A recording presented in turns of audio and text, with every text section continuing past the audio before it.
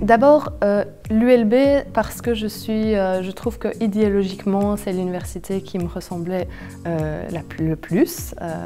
voilà, je pense que ça me correspondait bien, ça correspondait à mes valeurs. J'avais choisi un master de sciences politiques à finalité gestion publique. je ne sais pas si ce master existe encore aujourd'hui, mais il est assez proche du master de sciences politiques à finalité administration publique.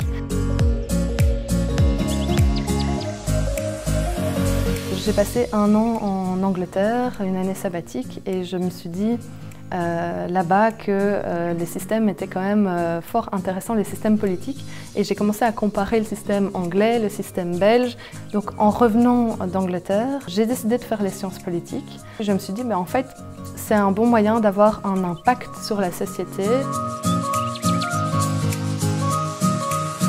Euh, le master euh, de sciences politiques à finalité gestion publique était vraiment intéressant pour moi parce qu'à ce moment-là, j'étais déjà engagée euh, au sein de la politique belge. J'avais déjà été candidate aux élections communales en 2006 et candidate aux élections régionales en 2009 fédérale en 2010. Donc, euh, du fait de mon implication au sein de la politique belge, ce master euh, était assez euh, idéal parce qu'il donnait vraiment une vision institutionnelle du pays et donc ça me permettait d'avoir une certaine expertise en, termes de connaissances institutionnelles.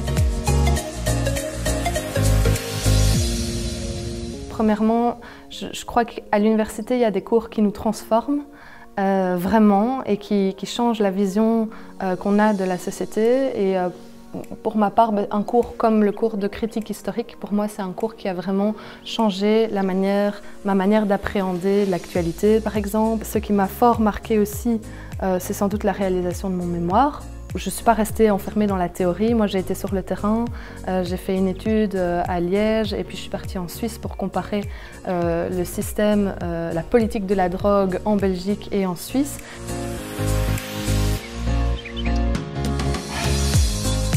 C'est des masters qui sont euh, utiles pour avoir une vraie connaissance institutionnelle, une connaissance aussi euh, du fonctionnement de notre État, euh, du fonctionnement de nos institutions, des niveaux de pouvoir.